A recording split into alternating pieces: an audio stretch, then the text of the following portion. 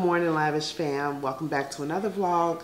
So today is Monday and it's like 6.30 a.m. I'm up and dressed because I am starting a new project at my neighbor's home. It is the same neighbor who I did the theater room for. Um, it's in another vlog, the room I painted the entire room black. But anyway, um, yeah, so um, if you hear that in the background, Dante's in the office rowing and his instructor, his rowing instructor, because he's taking like a class, is like Australian. and he's pretty loud. But either way, um, I am going to cook us a little breakfast because I like to make sure I eat a really good breakfast before um, I do projects. Um, and then I need to go to the garage and pack up my vehicle. So yeah, let me go ahead and get started with just something simple. Probably just make some pancakes and cheese eggs because I don't think we have any breakfast sausage or bacon because Dante got to go grocery shopping today. So um, yeah, so let's do that. Let me see what I can come up with. So hold please. Okay, so today's vlog is going to be sponsored by Rock Your Wok.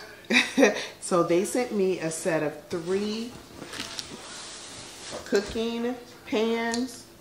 It's a long-lasting ceramic non-stick cookware set. So let's see what it looks like.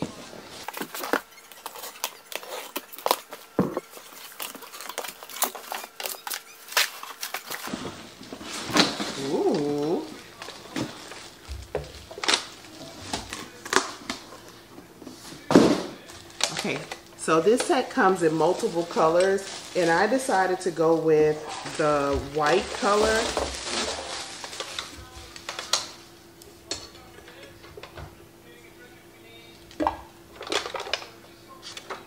That's what it looks like.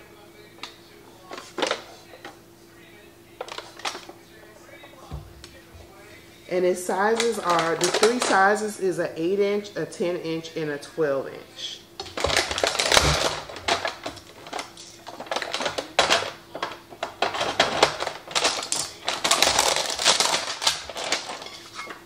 Okay, so this is just basically the care instructions for it. Can you see? That's what it looks like. So it's more of a, a off-white color. So if you're looking for stark white, this is not stark white, but it's like an off-white color.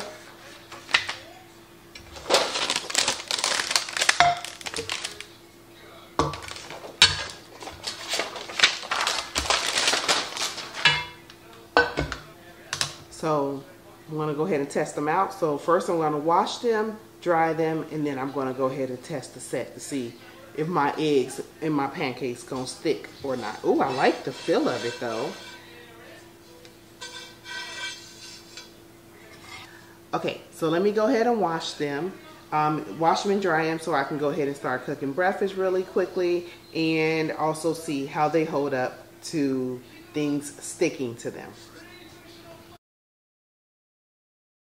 So a few highlights about this cook set is that it has a non-toxic ceramic non-stick coating, is derived from natural materials like sand and rock, free from harmful chemicals like PFAS, lead, and cadmium for healthy and more sustainable cooking, is simple to clean, dishwasher safe, and makes cleanup easy and convenient is versatile for all cooktops, compatible with gas, electric, glass, ceramic, and induction stovetops, and oven safe up to 824 degrees Fahrenheit for bread baking and roast.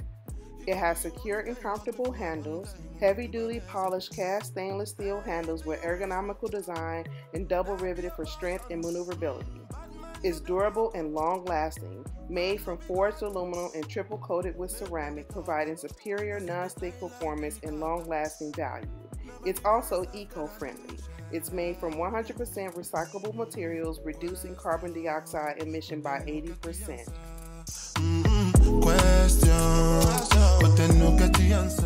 I forgot to mention, they are also very, very, very affordable. The prices were very reasonable, um, and I just love how easy they were to clean. everything just slid right out when I was like cleaning up the eggs after I made them even with the cheese. Look how perfect they look. They look brand new once again.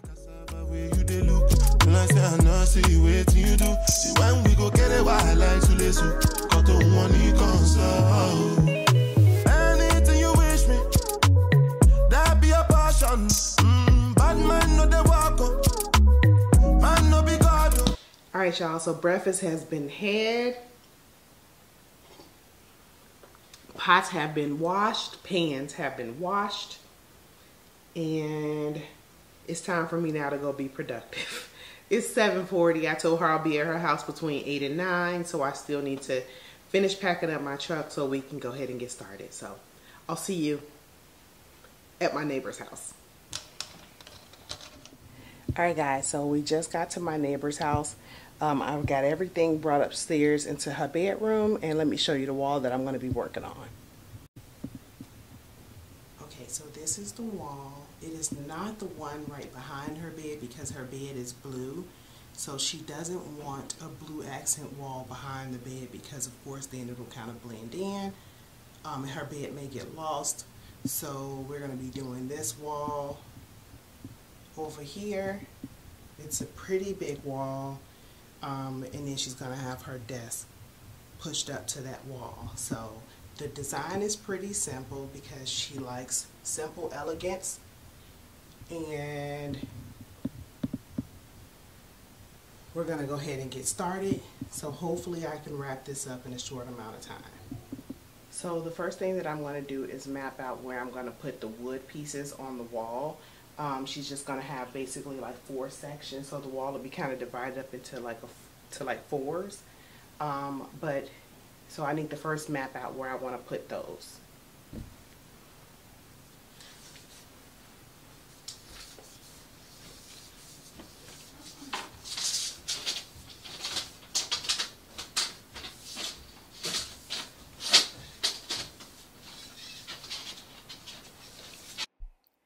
So what you see me doing right here is measuring the height that I need to put the uh, wood pieces on the wall. Um, and I'm basically just taping it off to make it easier for me to um, know exactly where I want to cut it. And I'm doing all five pieces at one time just to cut back on time.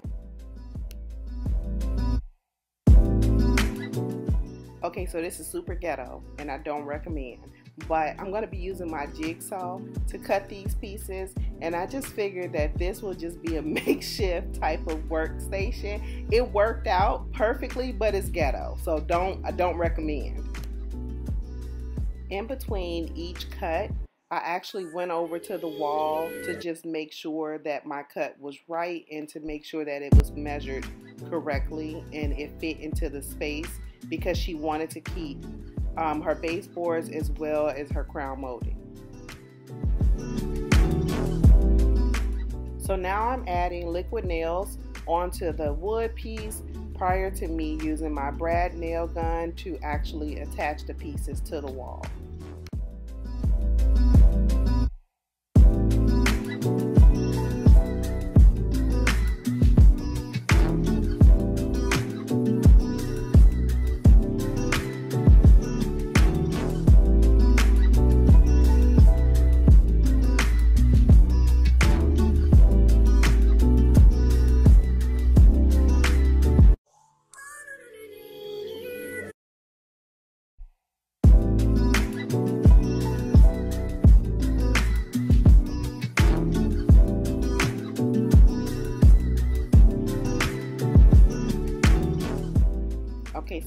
I'm just like caulking it to make it look more um, clean and more professional and look like it's seamless versus just actually just glued to the wall.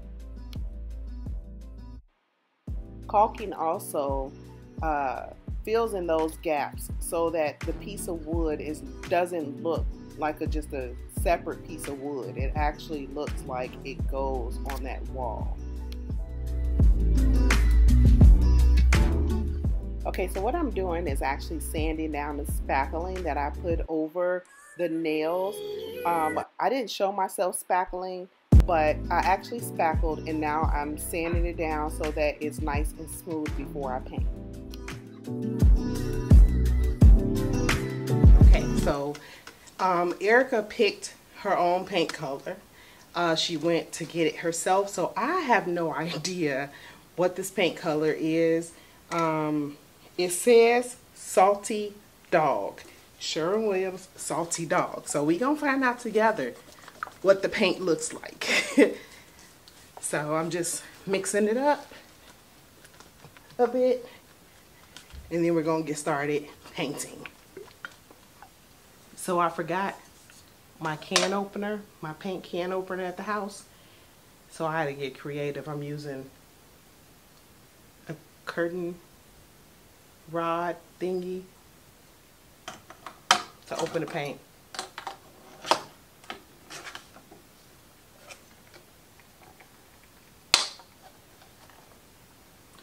Oh, this is pretty. I can see it.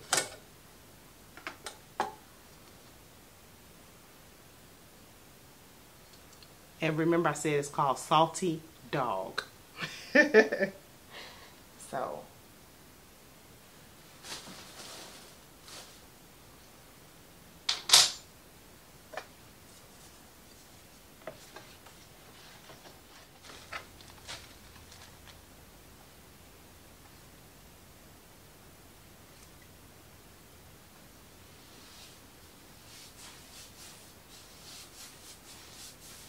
That is gorgeous.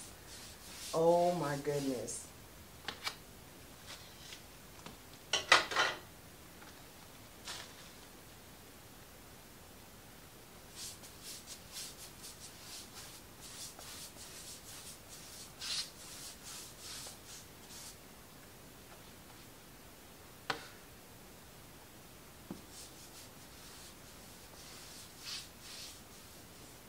Make this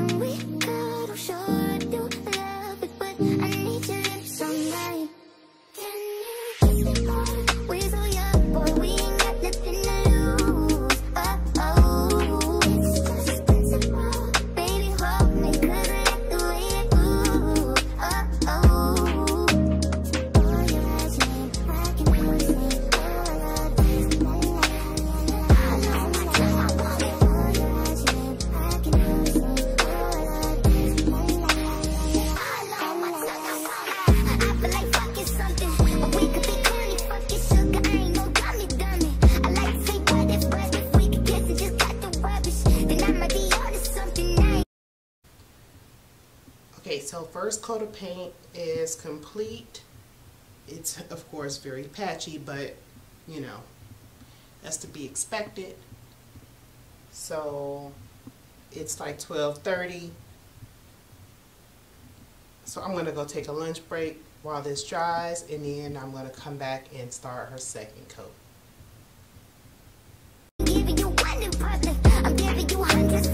Something we just gotta get into. Slang first, middle, last Niggas wishing that that pussy was a kissing booth. Taste breakfast, lunch, and and juice. And at dinner, just like this at two. And when we friends, we fresh in me too. When I bite that lip, come get me too. You want lipstick, lip gloss, sticky sweet. We're so young, boy, we ain't. All right, y'all. So I have finished with her wall. So I'll show you guys what it looks like really quick before I head out. So hold please.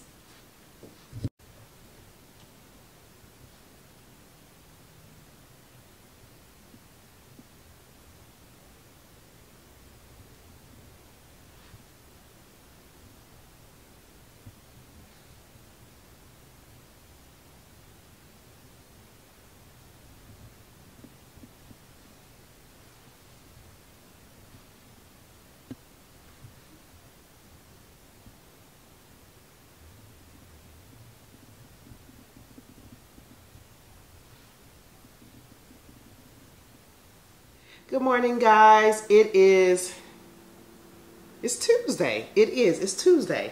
Um, so I am up and dressed. I've been up again. Once again this morning, I was up at like four.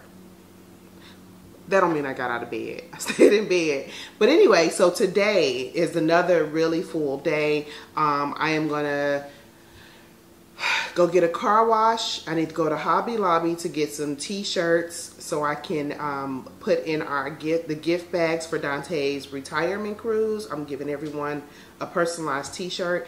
So um, I need to do that. And then I'm meeting one of my friends for a business lunch at this um, restaurant that I've been wanting to go to forever, forever. So um, it is, and I say business because it's you know, a catch up slash business. Yeah, yeah, meeting. And then when I get home, I think I'm going to try, depending on what I feel like, I'm going to try to put this picture up in the loft. So, hold please, let me show y'all what it looked like. Hold on.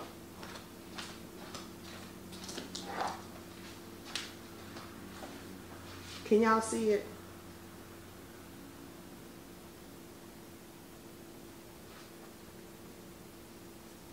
Okay, so I was at Dante and I were at Burlington on Friday. Um, after we had went out to eat, we were just kind of like walking off the calories. And we saw that picture and thought it would fit perfectly in the loft because of the colors and because it's a serene place. That's where I go to kind of just, um, you know, to like relax. So I thought that maybe it would look nice above the couch. So we're gonna see what that looks like. But for now, I'm gonna go ahead and make me some coffee, get me some raisin toast, and get on the get on the way because it is after nine o'clock, and um, I am meeting her at 11:30 in Atlanta. So yeah. Oh, oh, oh, oh, oh, before I forget. So yesterday when I was doing my clients slash neighbors um, wall, I just want to say that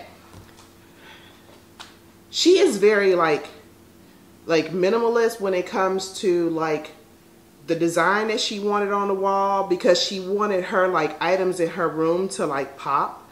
So her bed is blue and her accent colors are blue. So she knew she wanted a blue wall, but she didn't want the wall behind her bed to be blue because her bed is blue and she didn't want her bed to get lost. So then she said, well, hey, can you do this extremely big wall in my room, which is a really big wall. But she's like, I, I, I want something simple that pops. So I went on Pinterest and I sent her like maybe three or four different, I think it was four different um, ideas to kind of, you know, get an idea of what she, what, what, what lane she wanted to go in, like what direction she wanted to take it in. And she literally like picked the first one, which was that one with the very simple wall divides. So it didn't take me, you know, nothing but maybe, it took me about maybe six hours or so to do the entire project, which was not bad, maybe six or seven hours. So yeah, so that's the reason why we went with such a simple design. And then she's gonna put really big pictures in that space once the wall is completely dry. Um, so that's going to be really pretty. I can't wait to see the finished results of it. And depending on what the pictures look like, if they're not too personal, maybe I'll get a chance to share with you guys. But like I said, let me go ahead and make some coffee, get this toast so I can get on the road because it's already after nine. All right, so quick outfit of the day is just this uh, long sweater. It's very, very lightweight. Today it's going to be like 79, 80 degrees. So I wanted to wear something that I can wear inside of a restaurant because I'm always cold, but something that's really lightweight so that I'm not like sweating. Then I have on a white cami, some white pants, some slides to match the brown in this sweater, and I'm just carrying this again today. See you guys in a bit.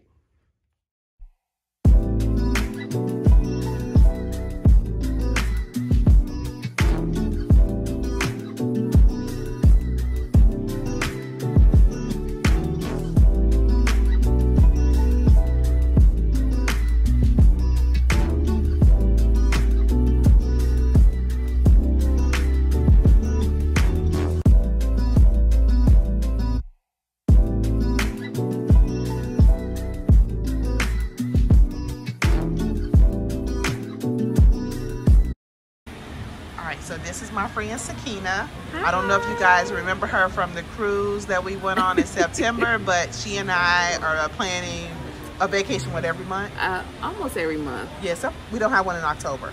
or May. Oh, nope, we start in June. Oh, that's just We true. start in June, Yeah, and then we just keep going. yeah.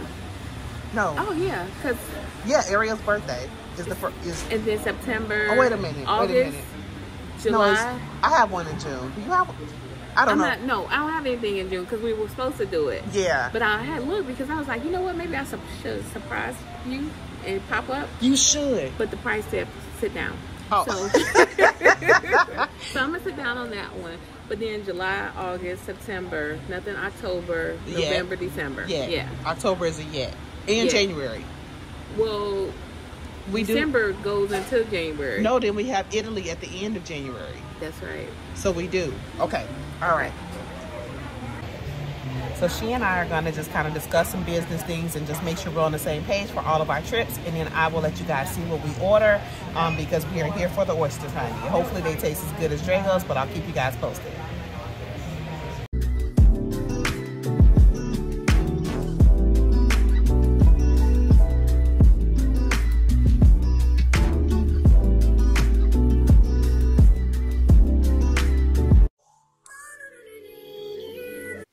Hey guys, so as you can see, I am back home. I am in the office, um, and I'm tired.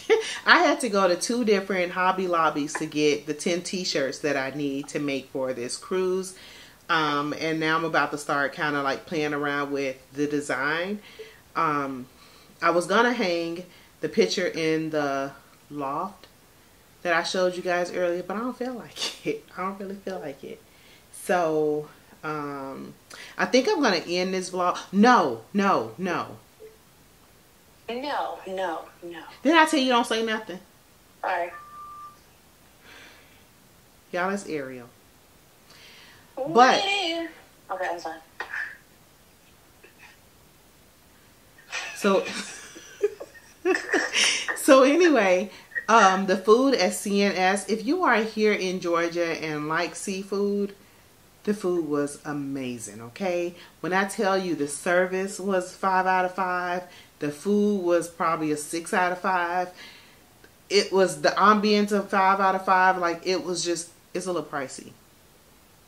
It's a little pricey, but it was so worth it. They had the best clam chowder I've ever had in my entire life, and I eat nothing basically but seafood and chicken. I don't eat beef and pork, so it was the best clam chowder I've ever had, and it's called C&S Sea Oyster Bar, I think, or Seafood and Oyster or something. Amazing. And it compares because I went there to see if it tastes like Drago's in New Orleans, and it was very, very, very close. Very like number two. So, um, if you are in Georgia and you are interested in C&S, they have two loc two locations, one in Sandy Springs and one in uh, Atlanta. So, um, so with that being said, I'm gonna end this vlog and most likely on Thursday. Yeah, Thursday I'll start another one. So I'll see you guys in my next one. Bye.